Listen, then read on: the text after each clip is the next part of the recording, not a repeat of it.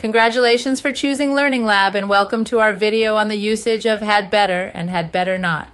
These phrases are often used to give strong advice or warnings. Understanding their correct usage can help you communicate more effectively in English. The phrase had better is used when suggesting that someone should do something to avoid negative consequences. For example, you had better finish your homework or you might get in trouble at school. On the other hand, had better not is used to advise against doing something. It implies that there could be negative outcomes if the advice is not followed. For instance, you had better not forget your umbrella, it's going to rain. It's important to note that had better is more forceful than should or ought to. It suggests urgency or necessity. Use it when you want to emphasize the importance of taking or avoiding an action.